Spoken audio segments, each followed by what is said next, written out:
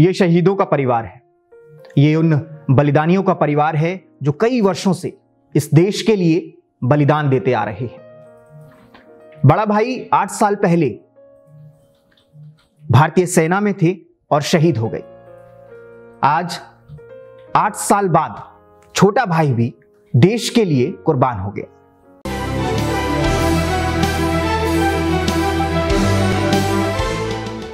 मैं बात कर रहा हूँ पानीपत के सुताना गाँव के कृष्णदत्त की, जो कि भारतीय नौसेना के युद्धपोत आईएनएस रणवीर पर हुए एक विस्फोट में शहीद हो गए।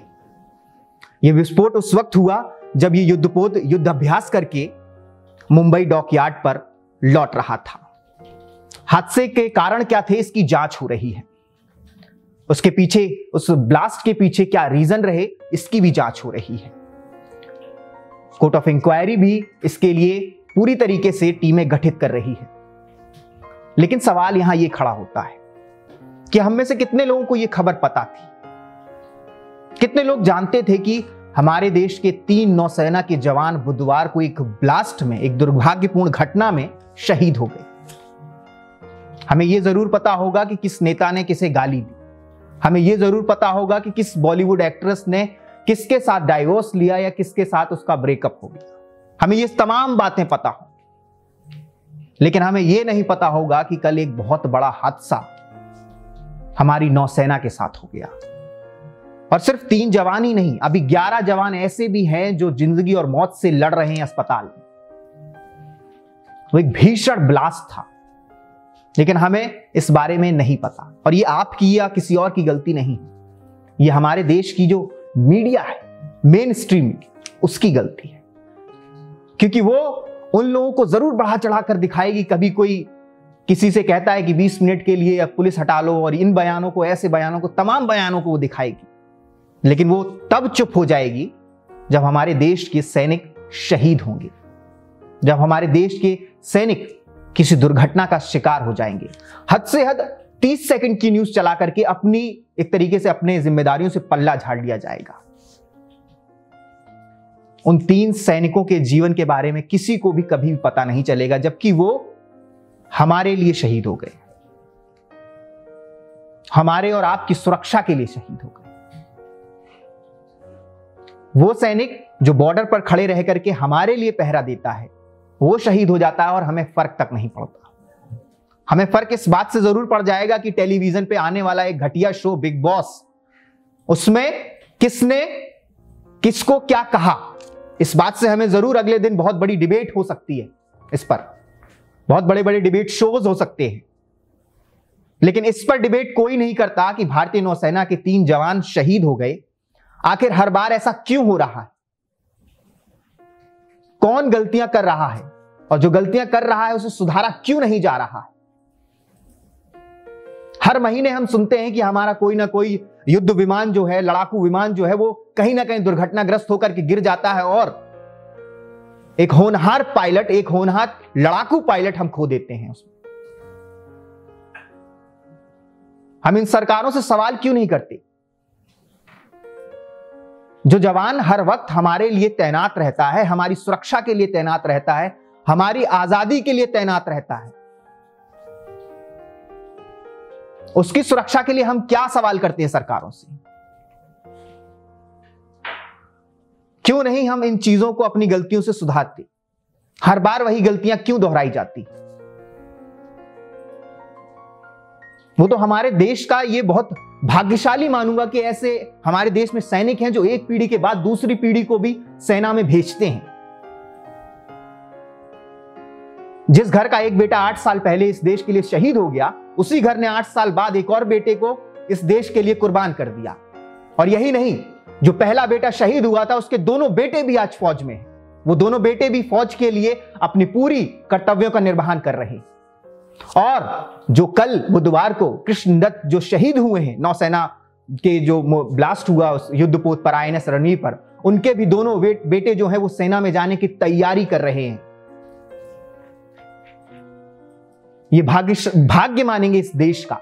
लेकिन ये दुर्भाग्य है इस देश का कि हम, जो एक सेना की ही वजह से आज यहाँ आज़ादी से रहते हैं, आज़ादी से घूमते हैं, आज़ादी से खाते पीते हैं, हर वो चीज़ करते हैं, तमाम चीज़ें आज़ादी से करते हैं, लेकिन उसी के लिए हमारे पास थोड़ा सा वक्त नहीं होता, हमारी मीडिया के पास थोड़ा सा वक्त नहीं होता कि उनके बारे में, उनके बारे में डिटेल में हम बताएँ लोगों को। आज पूरा गाँव जो है जो सुताना गाँव है पानीपत का, वो पूरा गाँव मातम में है।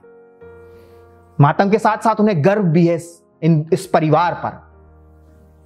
क्योंकि सिर्फ़ इस परिवार ने दो बेटे देश पर कुर्बान किए हैं और उनके चार बेटे तैयार हैं देश पर कुछ भी मर मिटने के लिए।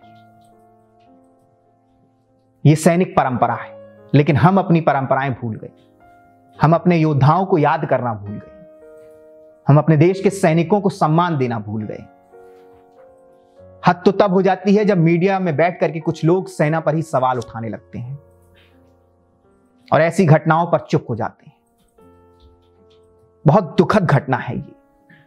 बहुत ज़्यादा। क्योंकि कल से आज तक मैंने जो देखा, किसी भी बड़े चैनल या किसी भी मीडिया हाउस ने इस खबर को दिखाना ज़रूरी नहीं समझा। चार लाइन की एक खबर लिख करके इसे खत्म कर दिया गया। ऐसे ही दूसरी घटनाओं में होता है। जब कोई लड़ाकू विमान क्रैश होता है तो उसके लिए भी एक सिंपल सा एक न्यूज़ लेटर लिख करके भेज दिया जाता है और खत्म, ज़िम्मेदारी। आखिर क्यों?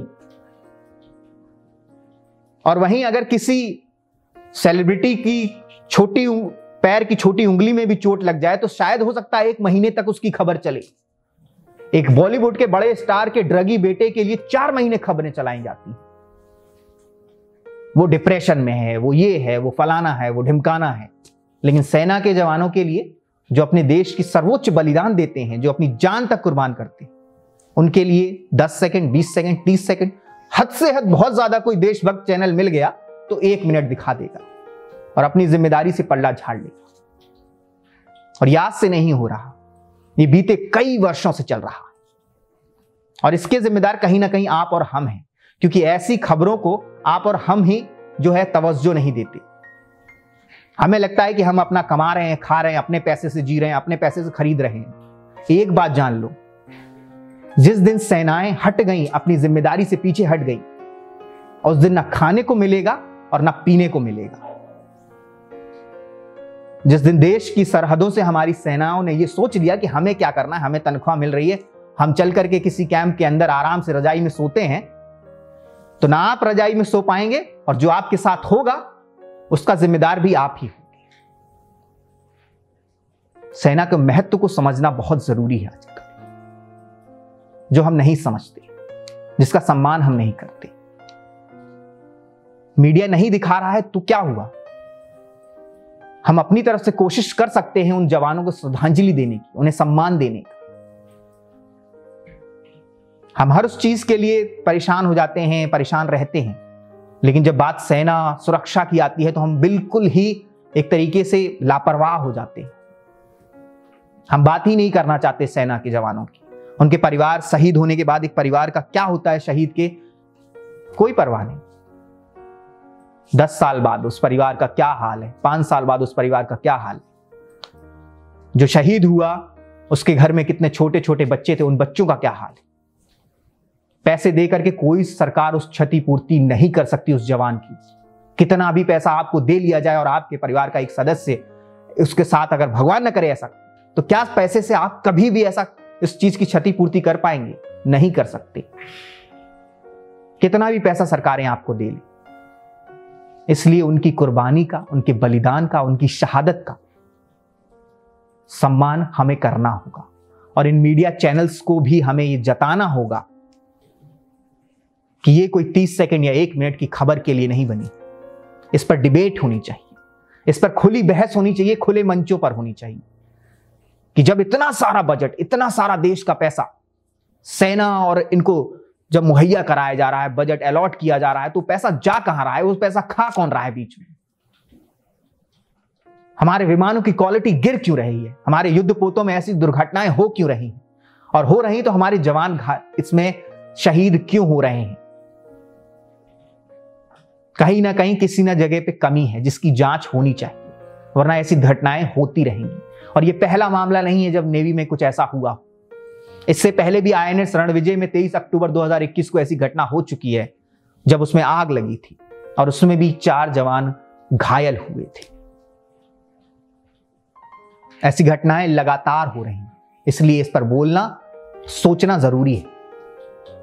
अब ये आपके ऊपर निर्भर करता है कि आप इस वीडियो को देखने के बाद इस वीडियो का क्या करते हैं? इसे देख करके सिर्फ़ निकल जाते हैं, या फिर अपना आक्रोश, अपना विरोध सरकार के प्रति सेना के लिए व्यक्त करते हैं।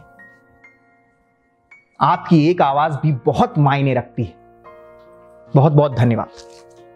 अगर आप ये वीडियो YouTube पर देख रहे हैं तो हमारे चैनल को सब्सक्राइब कर बेल आइकन दबाना ना भूलें। अगर आप हमारी वीडियो को Facebook पर देख रहे हैं तो हमारे पेज को फॉलो और लाइक करना ना भूलें।